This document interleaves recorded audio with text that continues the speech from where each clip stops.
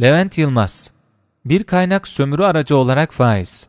Türkiye gibi gelişmekte olan ekonomilerde reel üretim yapıp istihdam sağlayan işletmelerin en temel ihtiyaçlarından birisini finansman oluşturur. Söz konusu ihtiyaç duyulan finansmanda ise temel sorun iki şekilde karşımıza çıkar.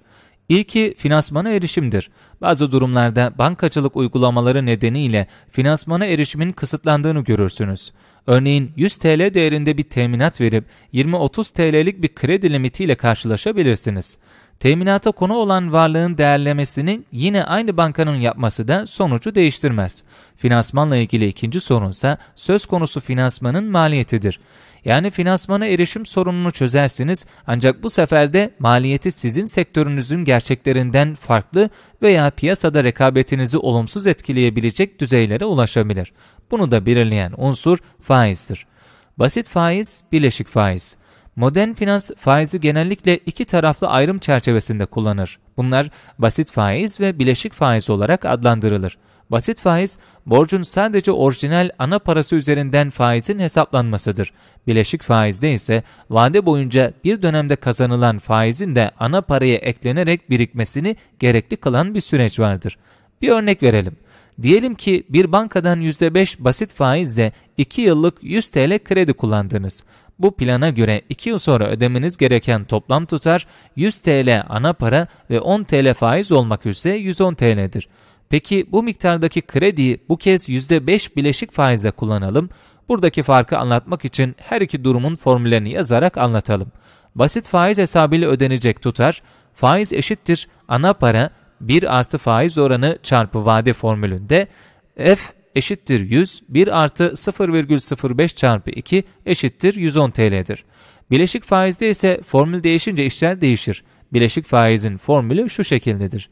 Faiz eşittir ana para 1 artı faiz oranı vade bu formüle göre toplam ödenecek tutar.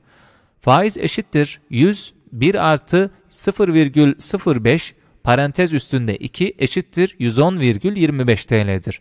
Özetle 2 yılın faiz geliri 2. yılın ana parasına eklendiği için bileşik faiz hesabına göre ortaya çıkan sonuç basit faize göre daha fazla olur.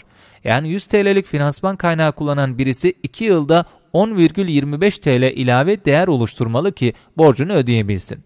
Bu kısa vadeli tek bir kredi örneğini diyelim ki 2000 yıl boyunca uygulayalım. Ortaya çıkan sonuç 100 parantez içinde 1 artı 0,05 parantezin üstünde 2000 formülüne göre 239 milyar milyar milyar milyar milyar.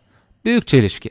Yukarıdaki hesap neticesinde ortaya çıkan matematiksel sonucun doğru olması böyle bir hesabın gerçek hayatın işleyişi açısından mantıklı olduğu anlamına gelebilir mi? Burada büyük bir çelişki yok mu? Sanırım böylesi bir hesaba en güzel cevabı Tarek el Divani veriyor.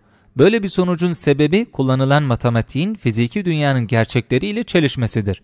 Yerleşik iktisadi anlayış bir yandan kaynakların kıtlığı üzerine kurgulanırken diğer yandan da 100 TL için 2000 yılda ifade edemeyeceğimiz bir ana paraya ilave faiz miktarı hesaplıyor. Bugünün koşullarında kısa ve orta vadede bu matematik çalışıyor gibi görünse de çok uzun vadede her türlü kaynağın sömürü aracına dönüşen bir sisteme karşılık geldiği gerçeğini sanırım kimse inkar edemez. Bunun sürdürülebilir olmadığı da aşikar. Her ne kadar makyajlı isimlerle farklı gerekçeler ifade edilse de dünyadaki ekonomik krizlerin sebebi bu matematiğin kaynakları sömürmesinden kaynaklanıyor. Fiziki dünyanın gerçekleriyle çelişen bu matematikten çıkarmamız gereken ders şudur. Üretim ve istihdam için kaynak oluşturmayan finans uzun vadede yıkıma neden olur. Ve hatta bu matematiği paradan para kazanan bir mekanizma için kullanırsanız sonsuz krizleri göze almak zorundasınız. Bu açıdan bakarak bir soru soralım.